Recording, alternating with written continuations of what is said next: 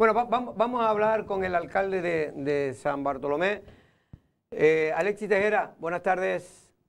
Muy buenas tardes, muy buenas tardes. ¿Qué tal, Alexis? ¿Cómo ha ido el día hoy?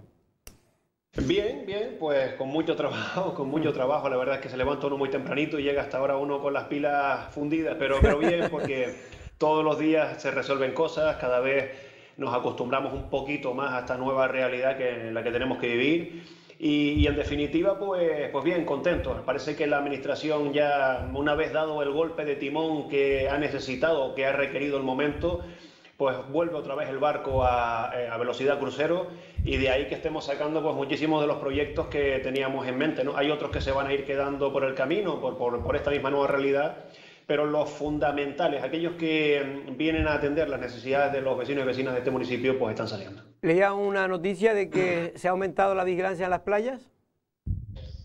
Sí, efectivamente, pues durante la fecha, sobre, sobre todo en los meses de julio, a partir de julio, solíamos, solíamos eh, bueno, pues contratar una empresa que nos vigilase las playas, que es cuando más afluencia hay.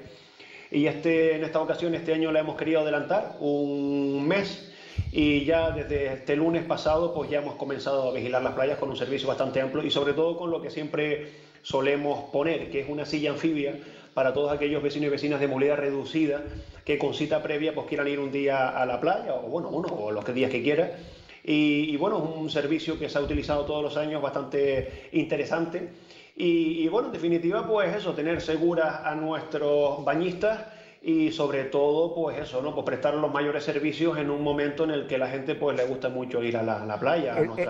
el, viernes por la tarde eh, aproveché para, fue la primera comida, bueno, la segunda, la primera la hice aquí en el, en el Asturiano y la segunda la hice en la avenida de Playa Honda. Eh, y me aproveché para dar un baño porque estaba el día fantástico el viernes pasado. Pero oiga, me di el baño y no había tanta gente, ¿eh? en la playa misma de donde están todos los bares y restaurantes. ¿eh? Estaba, estaba hay, bastante gente en los bares, en los restaurantes, la verdad que está siendo muy, muy fluido, pero es verdad que en la playa, en la playa pues la gente está respetando bastante, es cierto. Y así manifestaba yo a los compañeros cuando nos reunimos todos los lunes que manifestaban con preocupación que había, estaba viendo mucha gente. Bueno, porque esto, esto es cuestión de, bueno, de habernos confinado tanto tiempo, igual los primeros días pues se produce un poquito más de alboroto, mm. pero es verdad que al final la gente se normaliza, se acostumbra y en definitiva, estaban ustedes hablando de, mm. además quiero felicitarlos al consorcio por el magnífico trabajo que hacen. Hemos puesto toda una cartelería, hemos sido felicitados por otros consorcios de otras islas eh, por cómo se ha gestionado esto, ¿no? Eh, para vigilar las playas, para controlarlas y para evitar que se produzcan eh, o que se respeten, mejor dicho, para que se respeten las recomendaciones que nos dan desde los servicios sanitarios. ¿no? La verdad que nosotros estamos muy contentos porque en Playa Honda, en San Bartolomé en general, municipio, nos han producido grandes problemas grandes altercados que en los que hayamos tenido que intervenir la gente respeta muchísimo, muy consciente y creo que debido a ese buen eh, comportamiento de todos los vecinos y vecinas de este municipio y de la isla, estamos teniendo los datos que estamos teniendo en materia de pocos contagios. La verdad que daba gusto ver la, avenida de Playa Honda, la avenida estaba perfecta, la gente respetando más o menos. En fin, ya cuando uno se echa más copa, pues la gente empieza a respetarse menos, pero, pero esto es, una cosa... y la comida estaba buena. Y la, comida buenísima. Eh, por cierto, me están diciendo ¿Se va a permitir eh, que se puedan hacer hogueras en el municipio de San Bartolomé? Bueno, vamos a ver, las hogueras se pueden realizar siempre con cita previa en este ayuntamiento, notificándolas y respetando el mm. protocolo que tenemos establecido y sobre todo en la cantidad de personas que determina el Real Decreto del Estado, ¿no? Por lo tanto, vamos a intentar ir normalizando la situación siempre y cuando se respeten, insisto, todas las medidas en grupos de determinadas personas y vamos a estar muy vigilantes en esta ocasión, como lo hacemos todos los años, a que así sea. Son muy poquitas las que han anunciado, casi ninguna, eh, que lo van a hacer, ¿de acuerdo? Pero insisto, no vamos a permitir que se haga ninguna que no tengamos plenamente controlada e identificada, ¿de acuerdo? Por lo tanto, no creo que vaya a haber mucha proliferación de, hogueras en la isla de Lanzarote en esta ocasión. Pero me refiero a las familiares, estas que se hacen en la finquita de su casa, esas si no piden permiso también tienen, tienen que pedir permiso también, ¿no? Claro, todo lo que se salga de lo, de lo rutinario, o sea, de un almuerzo entre familias y demás, tiene que, tiene que ser autorizado por parte del ayuntamiento, sobre todo en esta ocasión. En, años anteriores, evidentemente, no pedíamos que si usted en su finca, en su casa, la, la, quiera hacer, no le pedíamos que se identificara, pero estas hogueras grandes que se mm. hacen en solares, que se hacen en determinadas cuestiones, sí. Eh, eh, siempre hemos pedido eh, comunicación y ahora, sobre todo, le pedimos a todas, a todas las hogueras. Alexis, ¿cómo estás, alcalde? Buenas tardes. Buenas, Sergio, ¿qué tal, eh, hombre? ¿Cómo estás? Ya nombraste lo de la cita previa y se me pusieron los pelos de, punta. Eh, cuando acabe el estado de la alarma, ¿se acabará la cita previa en los ayuntamientos, en el suyo, por ejemplo?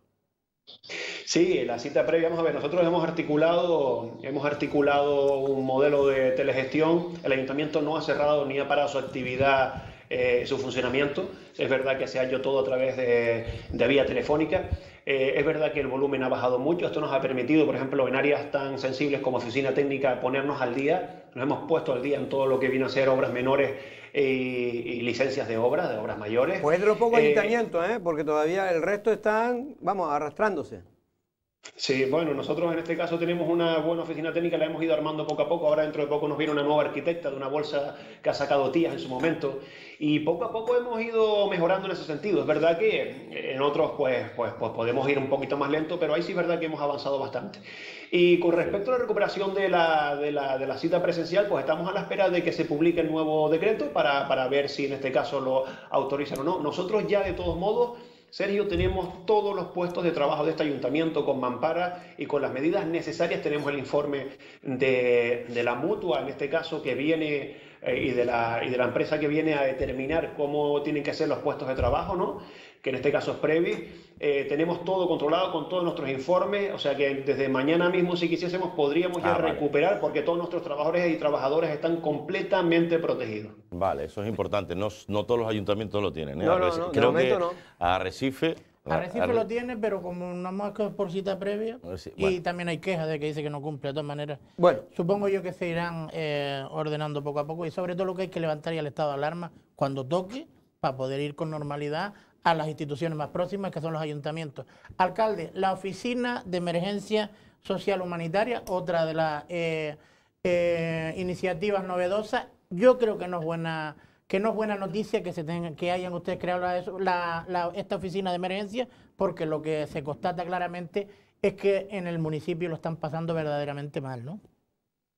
Efectivamente, hombre, no, no es plato de buen gusto el, tener que abrir esta oficina. Como bien dice usted, Pedro, pues denota, denota una necesidad que ojalá no la tuviésemos. Pero la realidad es otra, la realidad es que lo tenemos, lo necesitan y lo que nos hemos dado cuenta en estos dos meses es que cuando viene alguien con, con hambre, cuando viene alguien que no, que no tiene los recursos necesarios para comer él o para darle de comer a sus hijos e hijas, quédense con esto, lo que no podemos hacer es pedirle papeles porque cuando le pide usted papeles y tarda nueve, diez días en resolverlo, porque para hacer las cosas bien tenemos que firmar un decreto y ser fiscalizado por servicios sociales y por intervención, eh, la cosa se complica. Entonces lo que hemos articulado y hemos buscado la manera de primero yo le doy a usted eh, la cesta de alimentos, de los, de los primeros 15 días, usted tiene 15 días para justificar y buscar papeles una vez que ya tiene la comida y sus hijos están comiendo y a partir de ahí ya negociamos. Pero lo que no puede ser es que pidamos papeles y después demos comida. Eso no puede ser. Entonces eh, hemos articulado una, una oficina de atención a la emergencia alimentaria eh, muy profesional, con un software profesional,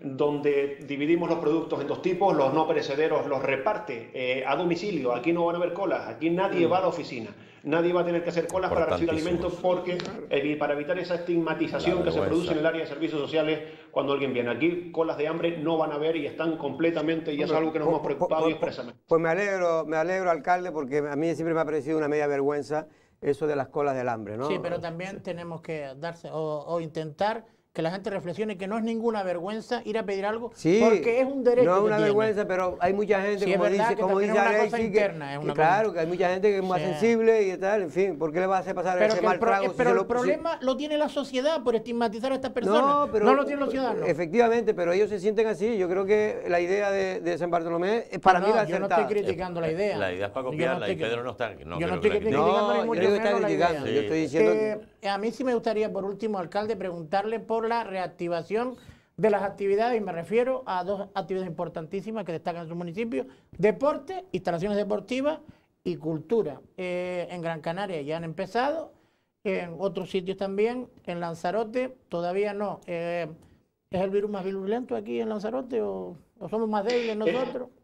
Ahora le respondo a ese tema y lo que le decía antes es que los productos no perecederos se los llevamos nosotros, trabajadores y trabajadoras que estaban en áreas que no tiene mucha actividad ahora, como de festejo y demás, y los productos perecederos para no romper la cadena del frío lo lleva directamente la empresa a casa del vecino. Por lo tanto, con esto cerramos el ciclo del Banco de Alimentos, un banco profesional, un banco con, con, toda la sensibilidad del mundo. Con respecto al tema de las aperturas, de aperturas y demás, estamos, insisto, esperando a la mesa de mañana. Mañana nos vamos a reunir la presidenta y todos los alcaldes y alcaldesas de Lanzarote.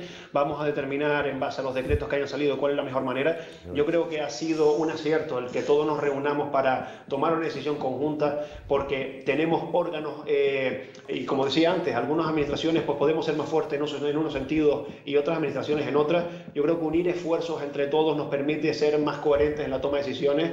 Esperemos cuanto antes. Pero mire, a mí más por supuesto que me preocupa el ámbito cultural, por supuestísimo, hombre, que duda acaba, me, preocupa el ámbito eh, deportivo.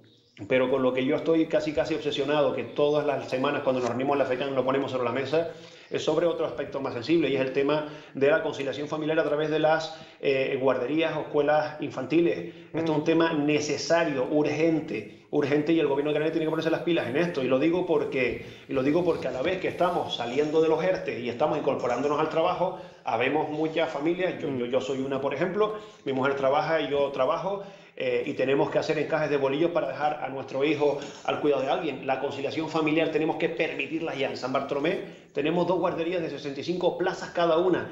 Todas esas familias que lo necesitan, ¿de acuerdo? Están viéndose ahora en un brete en el cual no pueden ni dejar al niño en ningún lado ni, ni, ni ir a trabajar. Por lo tanto, yo espero que se nos dé respuesta. Con respecto, insisto, a las instalaciones deportivas y culturales, mañana ya sabremos definitivamente. Ojalá eh, bueno, pues mañana los técnicos y demás nos pongan un, nos pinten un buen panorama y podamos poco a poco abrirlas. Eso sí, que nadie se espere que vamos a volver a la realidad inmediatamente de los estadios llenos, de los campos de fútbol con toda la gradería llena. De eso creo que debemos ir olvidándonos. Esta, este, esta desescalada tiene que ser progresiva y sobre todo con mucho eh, sentido común, que es lo que suelo repetir yo.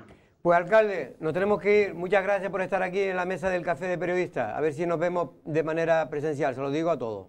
Buenas tardes. Un, abrazo a los tres, gracias. El alcalde de San Bartolomé, el socialista Alexis Tejera, una persona que yo sí me gusta de los alcaldes, es de los que intentan buscar eh, siempre soluciones a los problemas y no crear más problemas, que es lo que estamos habituados en, esta, en esta isla, ¿no? Muchos, cargos públicos que, que solo están aquí para para enredar, para meter... No, y nada atacar a su, quien fue su socio hasta hace poco, que era Coalición Canaria, la obsesión que se tiene en el Cabildo con, el tema de la oposición, de la oposición Coalición Canaria, porque con Podemos eh, no se dice absolutamente nada. Eh, fíjate tú que bien se gobierna, que, que en vez de estar, como se dedica en el Cabildo, a intentar embarrar el pasado, como dicen ellos, abrir gavetas. Ya contaré por capítulos. Miren qué problemas tenemos nosotros ahora y miren qué alcalde y qué ejemplo. Y con medidas que también se adaptan a su ideología. Y sobre todo, siempre, casi siempre, el motivo de la, del Ayuntamiento de San Bartolomé es el más necesitado, que eso es algo muy, muy, muy positivo, porque también en las personas mayores, la educación, aparte de que también no demonizan al sector empresarial, que es importantísimo que todos convivamos. Y no vende humo, Pedro. Y no vende humo, es práctico. No vende humo. Porque estamos ya viendo que lo que está vendiendo últimamente es humo puro. Es humo. Después, el G8 que dices tú, mañana otro G8. Por cierto, mañana otro G8. para nada, nada. Yo insisto, yo lo del G8 no lo veo mal si se toman, eh, digamos, soluciones coordinadas interesantes. Ahora, si es para abrir los sábados el cementerio.